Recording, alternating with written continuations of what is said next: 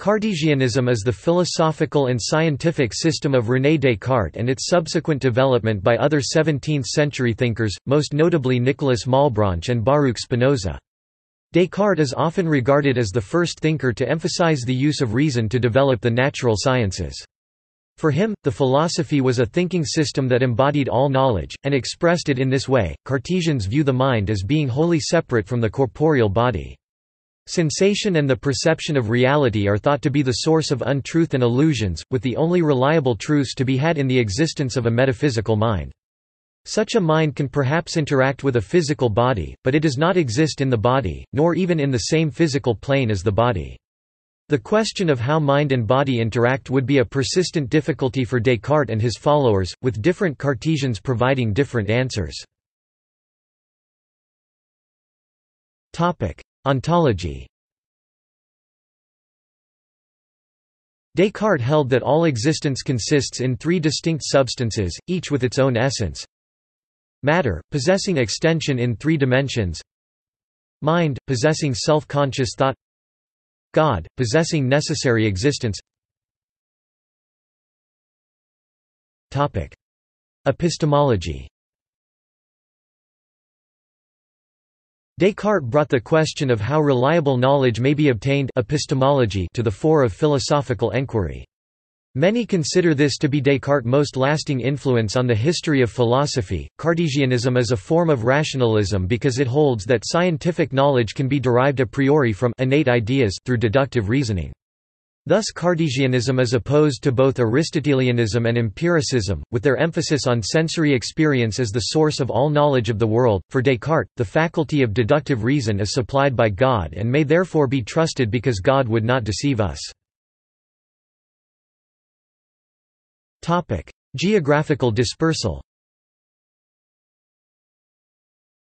In the Netherlands, where Descartes had lived for a long time, Cartesianism was a doctrine popular mainly among university professors and lecturers. In Germany the influence of this doctrine was not relevant and followers of Cartesianism in the German-speaking border regions between these countries e.g., the iatromathematician Yvo Gaukes from East Frisia frequently chose to publish their works in the Netherlands.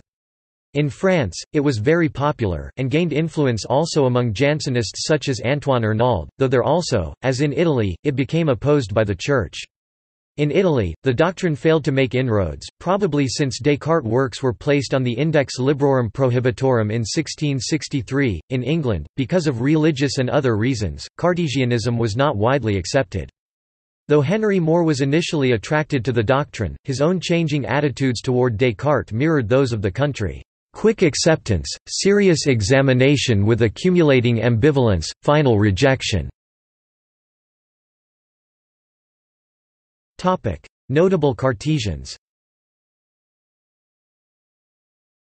Antoine Arnauld Balthasar Bekker Tommaso Campailla Johannes Clauberg Michelangelo Fardella Antoine Le Grand Adrien Heereboord Nicolas Malebranche François Poullain de la Barre Edmond Pourchot Pierre-Sylvain Regis Henricus Regius Jacques Rohault Christopher Wittich.